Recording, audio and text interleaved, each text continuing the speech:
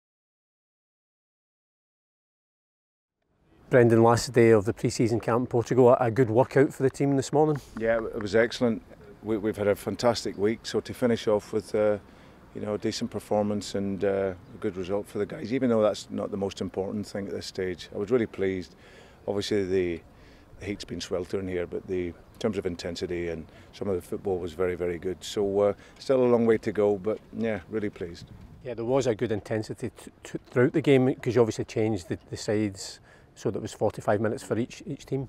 Yeah, and I think you can see with some of the goals that we scored in terms of our pressing high up the pitch, looking to win it, and then um, and then took our chances. So, uh, so yeah, it was a really good run out. Obviously, some of the guys it was the first, the international guys it was the first uh, bit of game time.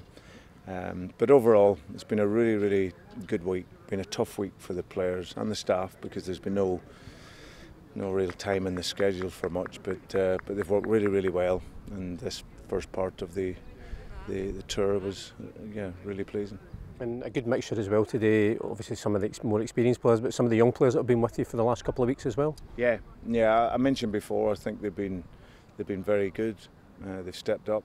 Uh, some of them in particular, I've been really, really impressed with. So um, I think for, for a young player at this age, you always look for the attitude and the energy. And most of the players, the, the young guys that have come in, have got that. And uh, yeah, I was really pleased for them on now to Japan. We've spoke before about how much uh, we're looking forward to that challenge as well because it's all part of the, the preparations for the season ahead. Yeah, yeah, it's, it's a tough schedule over the two weeks here in the heat and obviously it'll be similar heat in Japan with the humidity and obviously of course the teams we're playing out there are uh, are already sort of halfway through their season so so it'll be a step up again and and challenge for us but that's what we want we need that challenge at this time of the season to to improve our fitness level and uh, yeah and get back today recover tonight, and then we're away tomorrow. And I'm really looking forward to Japan.